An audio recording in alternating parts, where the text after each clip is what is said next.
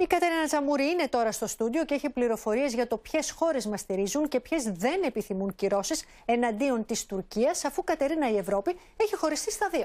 Έτσι είναι, Μάρα, μετράμε φίλους. Δείτε το χάρτη. Με το μπλε χρώμα είναι οι χώρες που προτείνουν αυστηρά μέτρα κατά της Τουρκίας. Εκτός από εμάς και την Κύπρο, Γαλλία, Αυστρία, Λουξεμβούργο, Ιρλανδία αλλά και Τσεχία θέλουν να τραβήξουν το αυτί του Ερντογάν. Με το κόκκινο χρώμα είναι οι χώρες που θέλουν ήπιες ή δυνατόν και καθόλου κυρώσεις, όπως η Ισπανία, η Ολλανδία, η Σουηδία, η Φινλανδία και η Ιταλία. Προσέξτε, τρεις στις πέντε έχουν εξοπλιστικά συμφέροντα στην Τουρκία. Στις κόκκινες και η Ουγγαρία, που από την μία παρουσιάζεται ω σταυροφόρος και από την άλλη τον τελευταίο καιρό δείχνει να τα έχει βρει με την Τουρκία. Τώρα, ουδέτερη στάση κρατάει η Γερμανία, που προσπαθεί να αποφύγει την καυτή πατάτα των κυρώσεων επί προεδρίας της.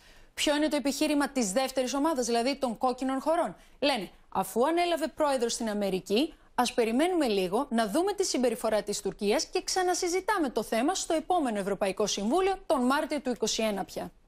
Να δούμε τι περιμένουμε, γιατί οι Ευρωπαίοι δεν μας έχουν συνηθίσει σε έμπρακτη στήριξη. Ευχαριστώ, Κατερίνα.